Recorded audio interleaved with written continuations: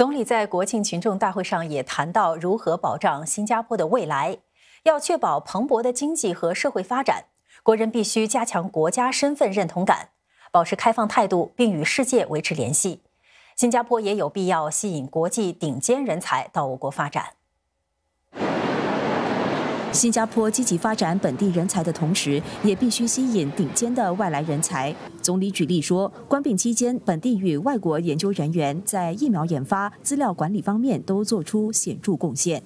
Had we not sought out top talent 30 years ago, and then continued to build up our biomedical research teams and activities and develop homegrown talent, all this would never have happened. When it comes to top talent, we can never have enough. This is an age where talent makes all the difference to a nation's success.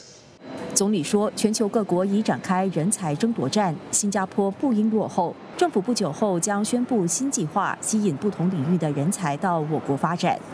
新加坡也必须保持开放，并继续同世界接轨。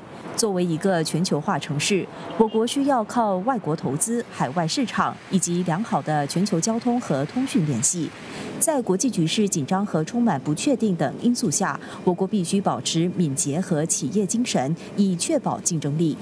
总理说，国人现在更容易接触并受到其他观点、价值观或极端情绪的影响。我们因此更需要加强身份认同感，了解国家利益所在，才能团结一致，打造美好的家园。另外，由副总理兼财政部长黄循才领导的第四代领导班子将带领新加坡展开下一个篇章。总理指出，新加坡要突破重重挑战，除了有效的领导班子，国人的团结以及对领导人的信任也至关重要。A small country like Singapore has zero margin for error. Not just Singapore's continued success, but our very survival depends on us having the right leaders. Leaders with integrity, dedication, and competence. Leaders with a conviction to make the tough calls and do the right thing, even if it may cost them some votes.